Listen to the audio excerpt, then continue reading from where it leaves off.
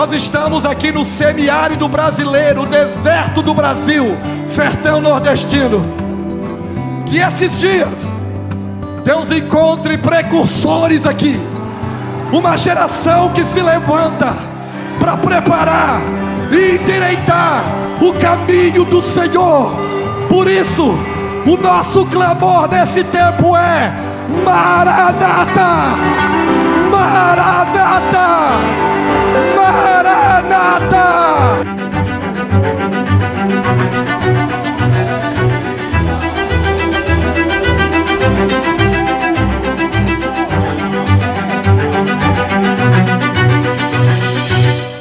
Nordeste é uma bênção de Deus.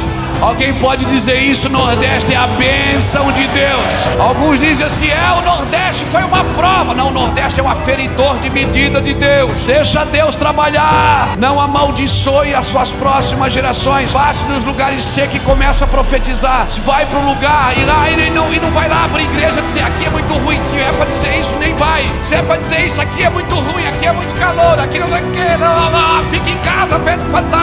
Você vai para lá para mudar o ambiente. Canaã precisava de um pai, de um pai da fé. Quando Deus te envia para algum lugar, não é para amaldiçoar as próximas gerações, é para libertar as próximas gerações que foram amaldiçoadas pelas gerações anteriores. Ei,